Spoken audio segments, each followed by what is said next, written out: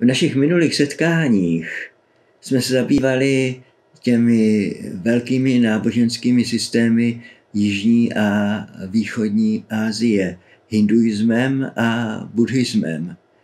Dneska eh, začneme své úvahy o jednom z největších náboženství, o islámu. Než začneme probírat islám, musíme si uvědomit několik rozdílů. Ta velká náboženství Indie jsou a buddhismus jsou v podstatě náboženství míru milovná.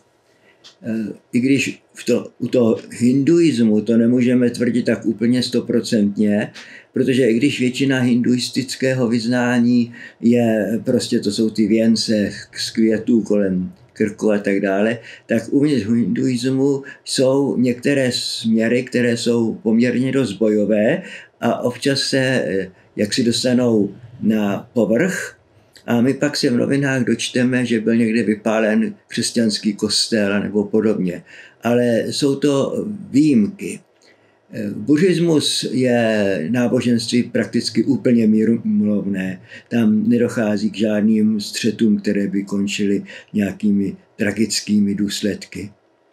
Islám naproti tomu je úplný opak. Je to náboženství bojovníků, náboženství naprosto nesmířitelné s čímkoliv ostatním na světě, protože buď seš muslim, nebo seš džaur a Ďaura je potřeba zabít. Tam neexistuje nějaká tolerance nebo nějaké setkávání a bratrství. Eh, hovořit o muslimském náboženství jako mírovém je svým způsobem úplně pošetilé. Byť by se na veřejnosti někdy takové formy objevovaly, eh, celkem nedávno došlo k setkání svatého otce s velkým muftím, šejchem eh, Alexandrijské univerzity, která je považována za jakýsi duchovní vrchol islámu. Oni eh, měli mm, nebo podepsali jakousi deklaraci o eh, takovém společném náboženském působení ve světě z hlediska našeho svatého otce, to je takový jeho folklor, že on se pořád s někým se bratřit. E, z hlediska toho šejcha e, šlo spíš o takovou zdvořilo, že nechtěl prostě e, svého hosta urazit. Každopádně určitě to neodpovídá celkovému postavení islámu jako takového. My islám vnímáme jako něco, co se nás bezprostředně týká, vzhledem k jeho expanzi do Evropy, ale musíme si uvědomit trošku, co je takovou bokem jednu zajímavost. Eh, my ten islám bereme jako něco, co je nám blížší než třeba buddhismus. Taková otázka k vám, kteří se na tenhle pořad díváte. Viděl jste někdo živého muslima? Viděl jste, eh, že by, když se rozezní u nás spoledne zvony, někdo vytáhl z tašky koberček, položil ho na chodník, obrátil se čelem, čelem k mekce, klekl a dotkl se čelem země. Myslím, že nikdo z vás jste takového muslima v životě neviděl.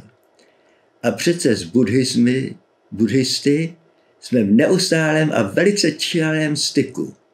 Všichni ti Větnamci, kteří u nás mají malé krámky nebo velká prodejní střediska, různá bystra, všichni, prakticky téměř všichni jsou buddhisté.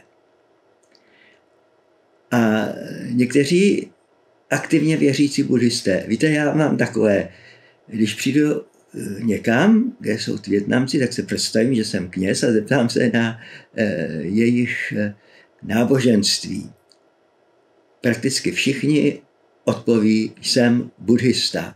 A když se s nimi dám, s těmi, co víc znám, do hovoru, tak jsem zjistil, že jsou, dokonce tady u nás, jedni, kteří mají doma oltáříček, nad něm mají tu sochu sedícího budhy a většina z nich o hlavních buddhistických svácích zapaluje doma ve svém bytě ty voňavé tyčinky, které jsou u nich symbolem bohoslužby. Takže aniž bychom si to uvědomovali, My jsme s tím světem buddhismu eh, propojeni díky těmto větnamským obchodníkům a pracovníkům, kteří žijí mezi námi a my se s nimi úplně normálně setkáváme, aniž bychom si tady tu skutečnost eh, uvědomovali. Takže to naše praktické setkávání se světem buddhismu je poměrně intenzivnější, protože skutečně v naší zemi zatím, a tady na Vysočině úplně, islám praktik, praktikován není. Není tady islám. Každopádně jako celkový eh, fenomén se dostává do Evropy velice intenzivně. Islám je náboženství, které bylo založeno v roku 622, to znamená na začátku 7. století. A je to prostě náboženství, které v současné době podle světové, světových statistik eh, vyznává 1 miliarda 600 milionů lidí. Podle těch statistik křesťanství vyznává 1 miliarda 400 milionů. To znamená, že těch muslimů je o 200 milionů více. Tady je jakýsi otazník, zatímco my křesťané můžeme doložit Eh, všechny křesťanské církve a denominace si vedou matriky. Eh, tak my to máme jakoby zachyceno, i když se jedná eh, v mnoha případech jen o formální členství, ale je to doložitelné. Muslimský svět žádné takové zachycení nemá, tam jsou to opravdu dohady, takže je otázka, nakolik to číslo je skutečným číslem. Každopádně Eh, muslimské náboženství se šíří. Eh, v Evropě je 42 milionů muslimů, to znamená, že je 22 eh, v některých zemích už muslimského vyznání. Hodně muslimů je v Americe, tam se stěhuje mnoho národností. V Americe představují muslimové necelé 1% obyvatelstva. To je tedy náboženství, které je eh, velice intenzivně se rozvíjející.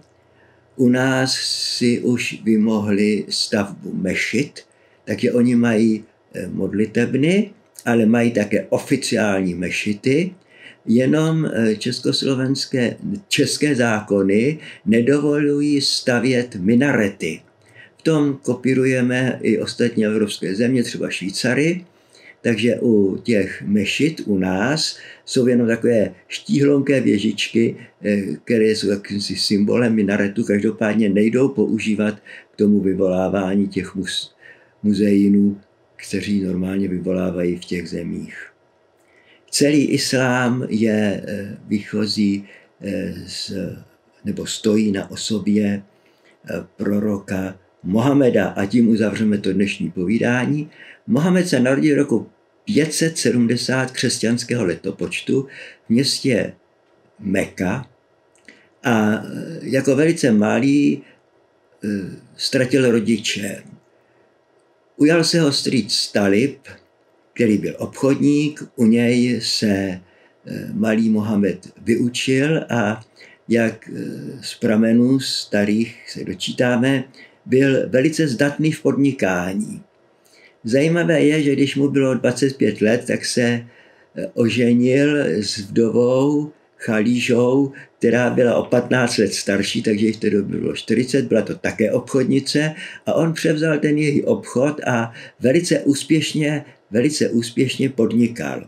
Přitom však měl e, veliké sklony e, k duchovnímu životu, měl jakousi jeskyni blízko z tohoto města, tam odcházel meditovat a modlit se. Musíme si uvědomit, že v té době území dnešní Saudské Arábie bylo roztříštěno mezi různá kmenová území víceméně kočovných kmenů, které byly politeistické, to znamená měli náboženství, měli své bůžky, svá náboženství, takže to bylo velice pestré, duch, duchovním životem pestré území. A on tam v té jeskyně při jednom rozjímání měl zjevení, jak sám popisuje, zjevení archanděla Gabriela, kdybyste četli starou literaturu, tak oni mu říkají Džabír. Tak zjevení tohoto Džabíra, tedy našeho archanděla Gabriela, který eh, Mohamedovi ukazoval na napsaných deskách text, který my známe pod zkráceným názvem Korán. A Mohamed tento text se naučil a z paměti se ho naučil. První Korán nebyl psán, byl předáván ústně a začal ve jménu tohoto náboženství pod tím svým hlubokým eh, zážitkem to náboženství šířit. Jako náboženství jediného Boha. Celý Korán je obsažen v jediné větě. Není Boha mimo Boha a Mohamed je jeho prorok.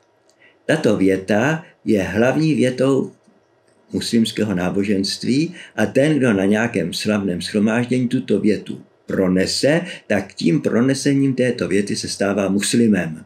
A už ji nikdy v životě nemůže vzít zpět. To je podobné jako u nás, u křesťanů, my už nemůžeme, kdo byl pokřtěn a dostane do duše nesmazatelné znamení křtu, už toto znamení nikdy nemůže se ho nějak zdát opustit. Takže to je věta, kterou je, kterou se stává člověk věřícím podle jejich názvu.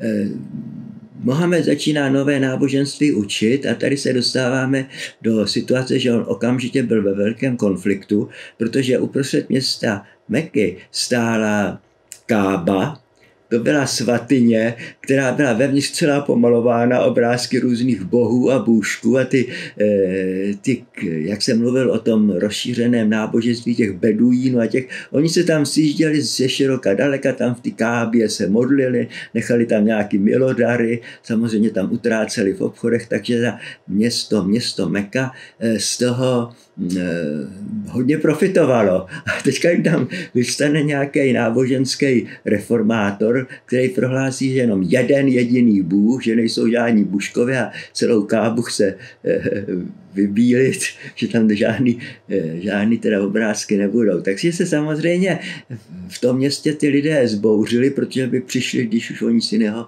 tak o finanční, o finanční zajištění. A eh, jak si rozhodli se, že toho blouznivého Mohameda prostě zlikvidujou. Eh, Mohamed má být zabit a už se vypravuje jakési komando a on eh, odchází do té své jeskyně, aby se tam modlil a oni, když vpadnou do jeho domu, tak najdou jenom, jenom jeho zetě Aliho a mm, samozřejmě dozvídají se, že Mohamed odešel se modlit do té své jeskyně, tak se vypraví za ním. A když se dostanou té jeskyně a to Mohamedáni považují za boží ochranu, tak ten vstup do té jeskyně je překryt pavučinou a ještě navíc si před ním staví holubička hnízdo. Takže e, ti, to komando usoudí, že tam těžko někdo může být, když je, když je eh, to už pabučinou za, zadělané a jdou domů a Mohamed je zachráněn. Každopádně ale ví, že eh, co se nepodařilo jednou, se může podařit po druhé a eh, tak se sebere a se svými nejvěrnějšími stoupenci odchází do města Izbrídu, kterého uvítá, protože tam soupeřili o moc čtyři klany a oni chtěli nějakého neutrálního vůdce města a protože o Mohamedovi slyšeli jako, že je velice úspěšný, nejenom té náboženské oblasti, ale hlavně tedy jako obchodník a státník, a tak si ho zvolí za svého vůdce. A to město přejmenují na Medina, město Mohamedovo to se stalo v tom roce 1622 a tedy tento datum je považován za datum vzniku a ustanovení islámu.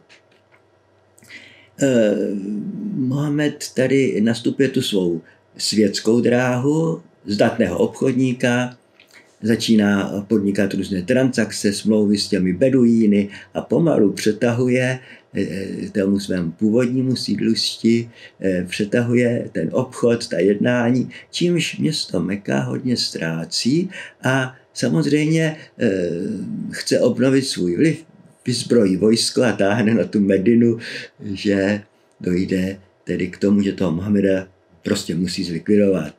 Eh, Mohamed vyzbrojuje druhou armádu a v poměrně dost komplikované válce zvítězí a nejenom, že odrazí ty útočníky, obsadí Meku, udělá eh, s tou kábou, co chtěl udělat už dřív, to znamená všechny ty eh, obrazy těch bůžků a démonů jsou seškrabané ze zdi, ta budova je, je očištěná a je celá zahalená do sukna. V současné době ji známe zahalenou do černého sukna a je považována za hlavní svatyni eh, celého muslimského světa, protože tam vyhlašuje